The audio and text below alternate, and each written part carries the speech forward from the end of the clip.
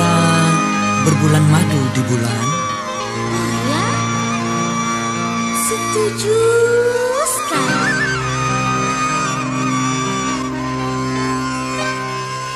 Mari kita bahagia, bahagia.